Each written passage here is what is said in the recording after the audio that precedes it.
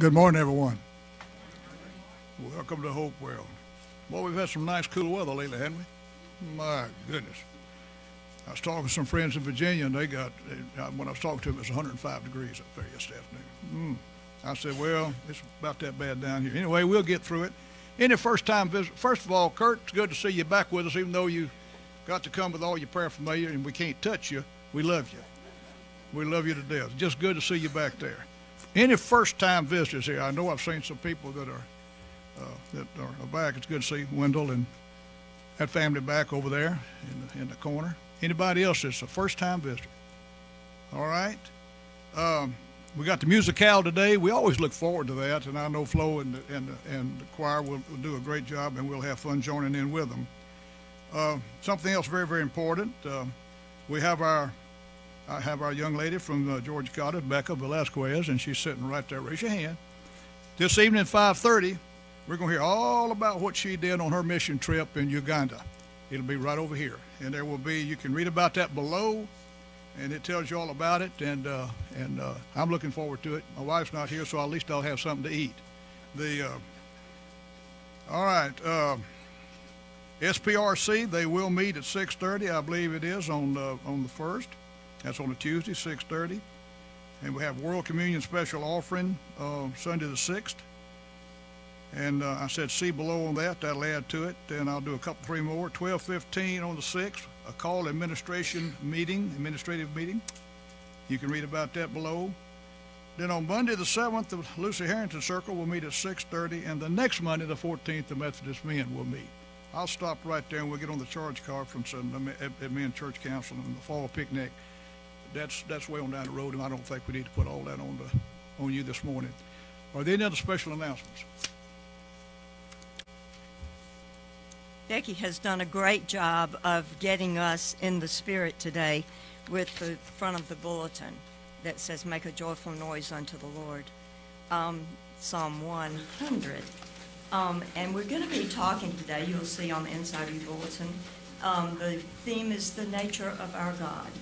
Um, we serve a powerful God who has created and is creating, yet chooses to come live among us.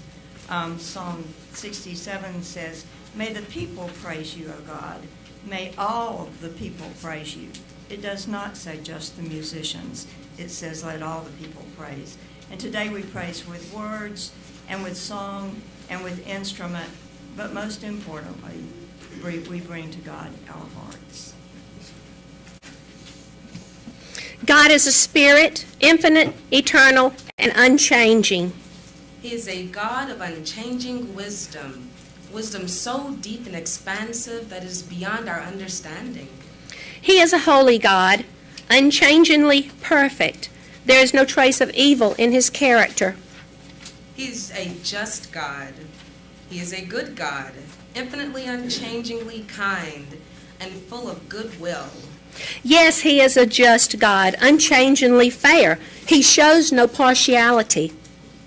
He is a God of mercy, unchangingly compassionate, and a God of grace, inclined to forgive us of our sins as we should forgive those who sin against us. He is a loving God, infinitely, unchangingly loving, with a love that is consistent, steadfast, and enduring.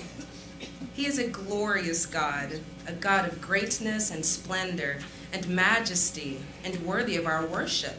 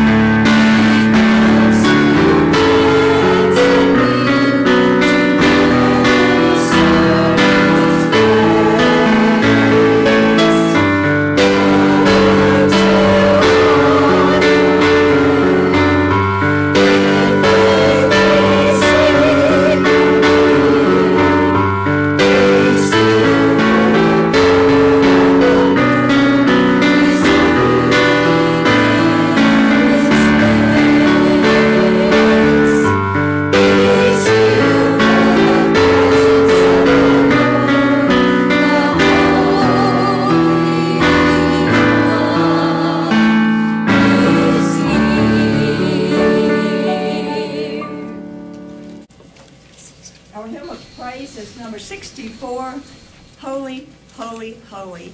We'll be singing verses 1 and 4. Would you stand as we sing?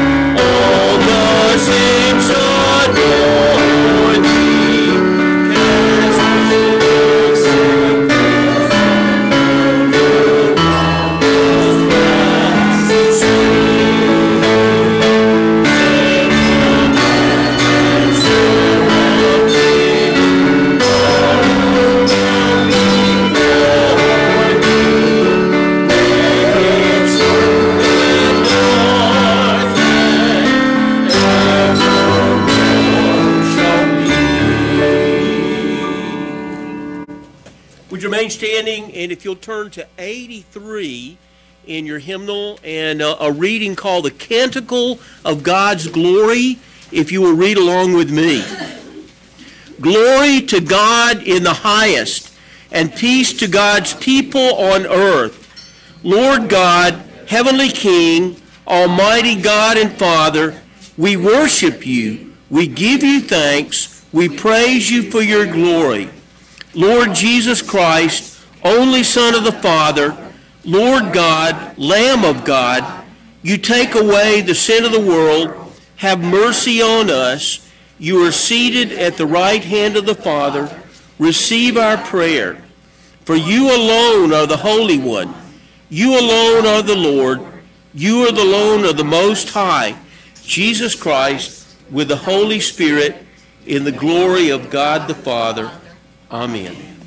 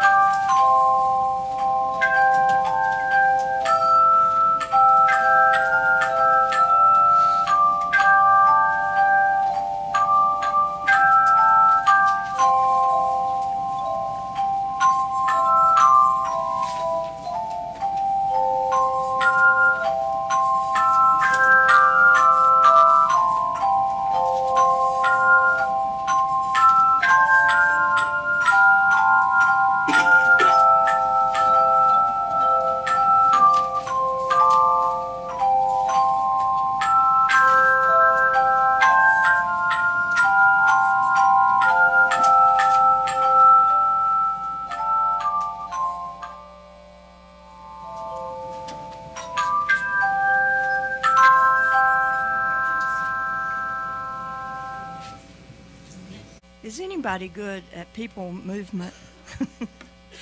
we could use it this morning, I think.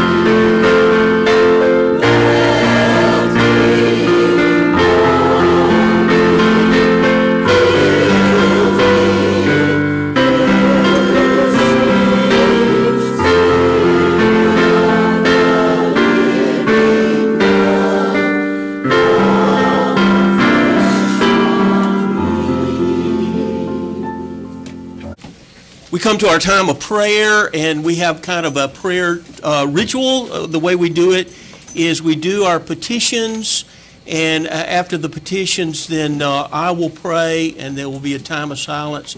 We'll pray the Lord's Prayer together.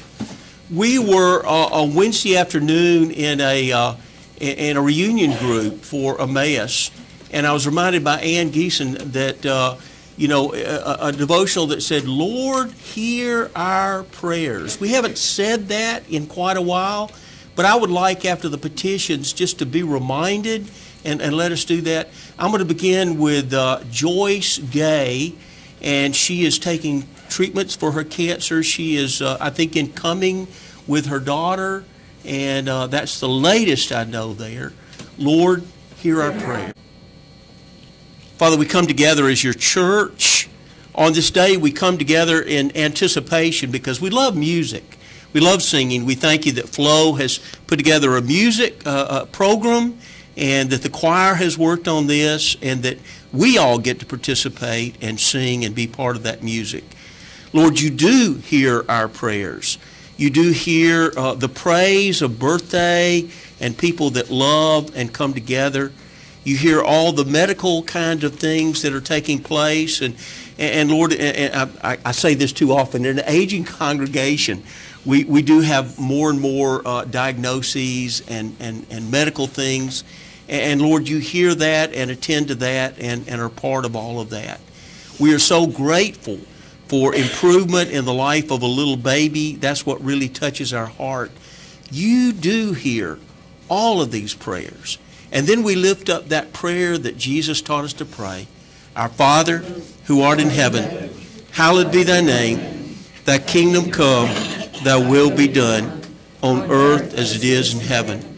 Give us this day our daily bread, and forgive us our trespasses, as we forgive those who trespass against us. And lead us not into temptation, but deliver us from evil.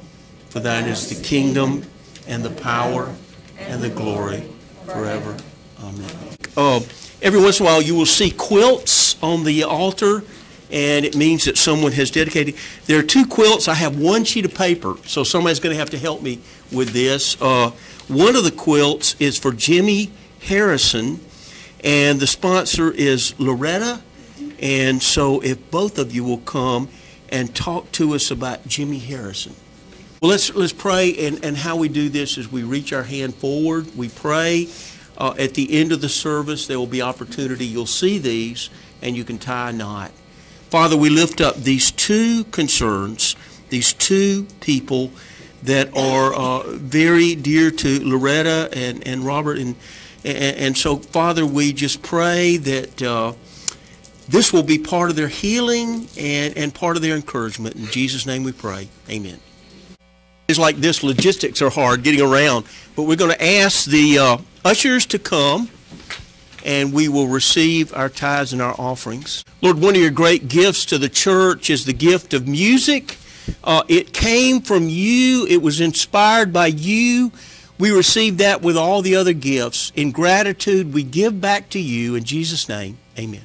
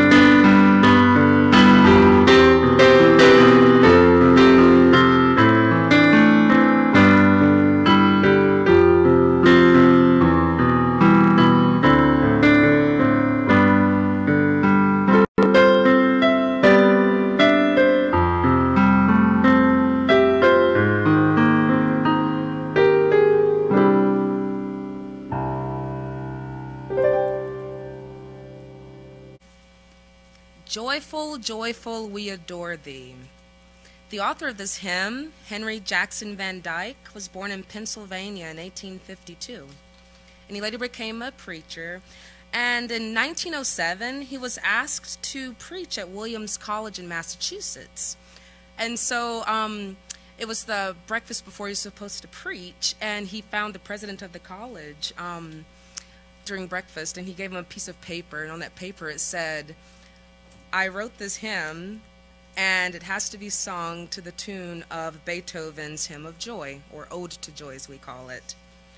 And so the president of the college obliged him. And when um, Van Dyke was later asked about the hymn, Joyful, Joyful, We Adore Thee, he said these words, and I thought they were pretty awesome words.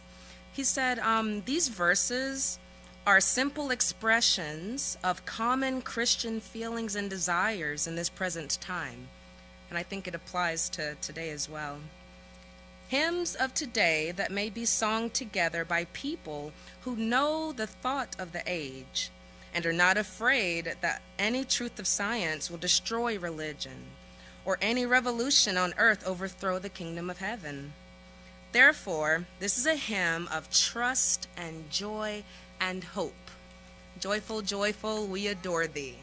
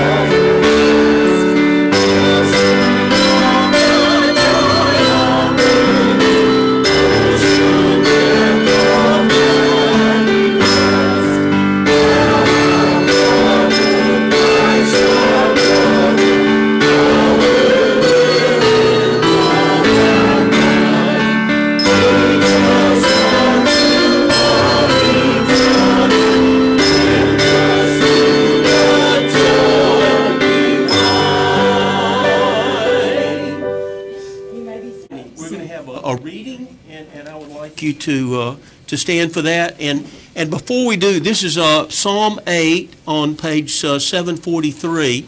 And uh, your pastor reads things beside the Bible.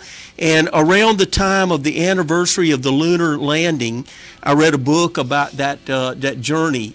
Uh, and it seems that they had in their spacecraft a Bible, and they were trying to figure out what is it we're going to say when we arrive in the moon. The consideration was Psalm 8 because it does talk about the heavens and the stars. So just know that this was thought about as, as they were making a lunar landing. Uh, uh, let's read together. O Lord our Lord, how majestic is your name in all the earth. Your glory is chanted above the heavens by the mouth of babes and infants. You have set up a defense against your foes to still the enemy and the avenger. When I look at your heavens, the work of your fingers, the moon and the stars which you have established, what are human beings that you are mindful of them, and mortals that you care for them? Yet you have made them little less than God, and crowned them with glory and honor. You have given them dominion over the works of your hands, and have put all things under their feet, all sheep and oxen, and also the beasts of the field the birds of the air and the fish of the sea, whatever passes along the paths of the seas. O Lord our Lord, how majestic is your name in all the earth. Amen. Now you may be seated.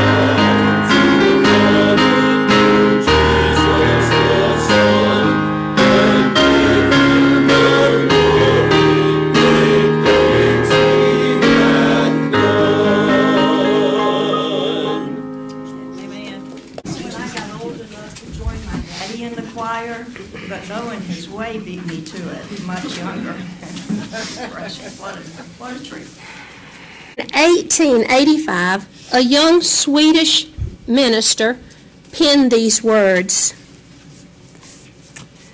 When I the world consider, which thou hast made by thine almighty word, and how the web of life thou wisdom guideth, and all creation feedeth at thy board, then doth my soul burst forth in song and praise, O great God, O great God. And the poem he called, oh, O Store Gud, O Mighty God. The poem was later forgotten.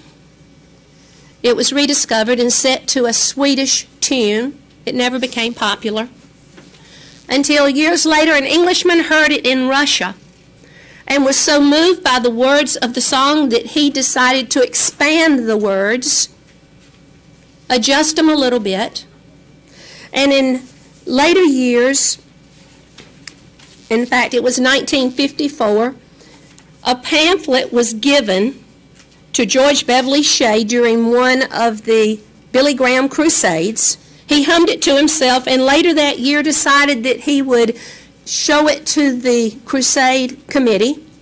And the following year in Toronto, he sang it and introduced it for the first time. In New York Crusade of 1957, it was sung by Beverly Shea 99 times, with the choir joining in in the majestic frame. Then sings my soul my Savior God, to thee. How great thou art, how great thou art. And would you stand and turn to page 77 and sing the first verse only of How Great Thou Art? And if you can hit that high note at the end, hit it. Stand,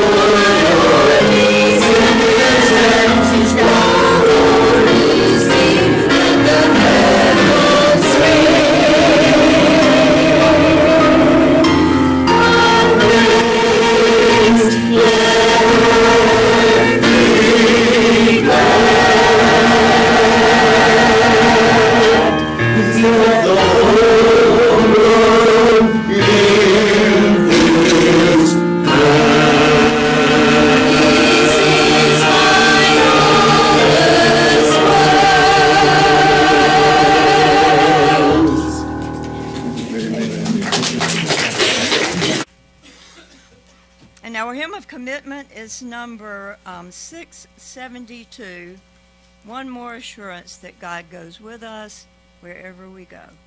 Um, we'll stand and sing the first verse only of God Be With You till we meet again.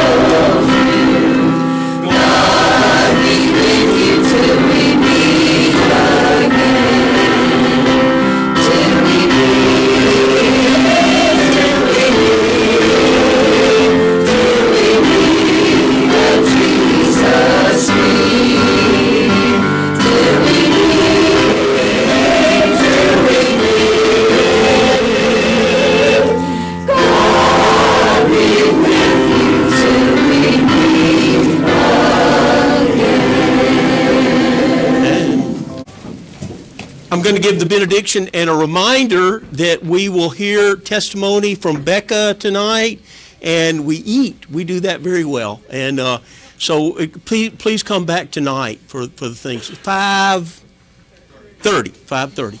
Uh, let's pray.